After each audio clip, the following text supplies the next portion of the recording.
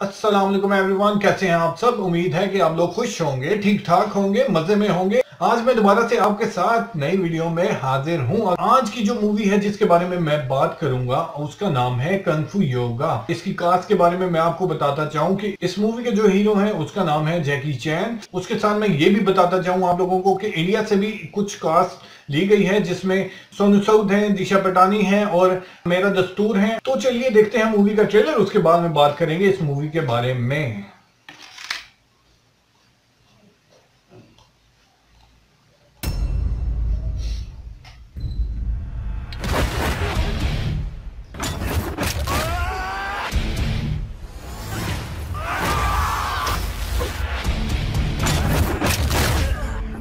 Bodhi from India.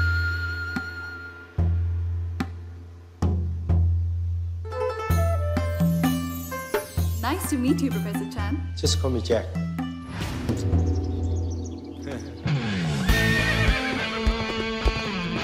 My ancestors have sacrificed their lives collecting the treasures of Magda. I want it back, Jack. Pussy.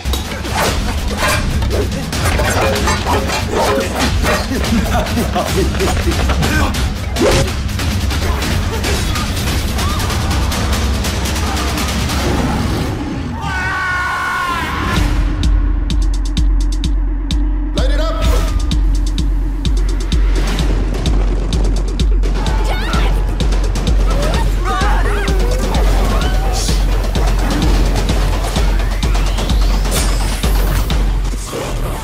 did you do that? I make it happen. Indian magic. Everybody get your act together, cause this is now Kung Fu.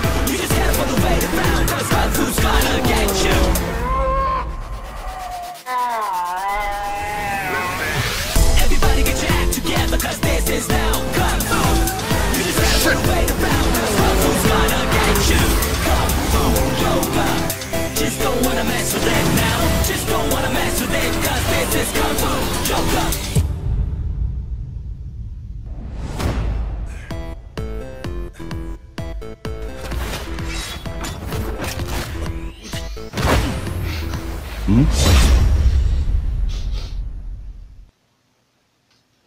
कब शुरू हुआ और कब खत्म हो गया, पता भी नहीं चला। मैं तो यही कहना चाहूँगा, बहुत आला ट्रेलर था। अगर आप लोगों को ये पसंद आए तो प्लीज़ जाके मूवी देखिएगा, क्योंकि ये बहुत ही ज़बरदस्त होने लगी है, बहुत ही आला होने लगी है। क्योंकि इस मूवी में इंडिया का तड़का भी है, क्योंकि इंडिया के एक्टर्स भी इस मूवी में शामिल है। तो आपको बहुत ज़बरदस्त लगेगा। इस मूवी को देखकर सोनू सूद फेवरेट है मेरे, और उनकी बॉडी भी बहुत ज़बरदस्त है। इसके साथ ही उनकी एक्टिंग भी बहुत ज़बरदस्त है। ये मूवी देखने वाली है। इसमें जो विजुअल इफ़ेक्ट का ज़िक्र किया जाए, इतने क्लियर या इतने रियलिस्टिक नहीं लगे। अगर आपको ऐसा लगा है तो मुझे भी बताइएगा कि आपको क्या क्या और चीज़ें हैं जो आपको सही नहीं लगी।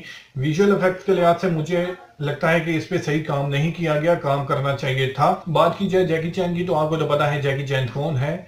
और कहाँ से आया है? तो इसके बारे में बात करना तो फजूल ही होगा, क्योंकि आप इसके बारे में सारा कुछ जानते होंगे। और ये मूवी थर्ड फरवरी को रिलीज़ होगी। जाके ज़रूर देखिएगा, बहुत ज़बरदस्त होने लगी है। ग्रीन स्क्रीन का आजकल हर मूवी में इस्तेमाल किया जाता है, अच्छी से अच्छी मूवी बनाने के लिए। अगर बात की जाए इस मूवी की तो इसमें ये चीज़ सही नहीं लगी, जैकी चैन की मूवी होने के बावजूद। अगर बात की जाए 90s की तो उसमें जुरासिक पार्क आई थी, उसमें जो डायनासोर बनाया गया था, आपको कहीं से भी नहीं लगेगा कि वो फेक था।